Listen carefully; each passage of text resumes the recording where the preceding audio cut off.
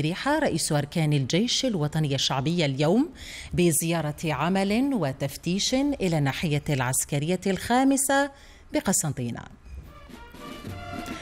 في البداية وبعد مراسم الاستقبال بمدخل مقر قيادة الناحية من قبل اللواء نور الدين حنبلي قائد الناحية العسكرية الخامسة وقف السيد الفريق أول وقفة ترحم على روح الشهيد البطل زغود يوسف الذي يحمل مقر قيادة الناحية اسمه حيث وضع إكليلا من الزهور أمام المعلم التذكاري المخلد له. وتلا فاتحة الكتاب على روحه الطاهرة وعلى أرواح الشهداء الأبرار.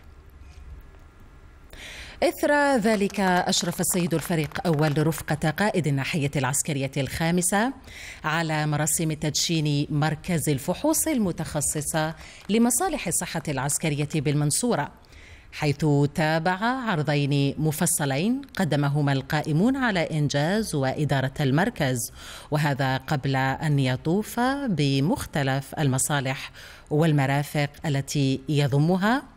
ويستمع لشروحات وافية عن الخدمات التي يوفرها للمستخدمين العسكريين وذوي الحقوق.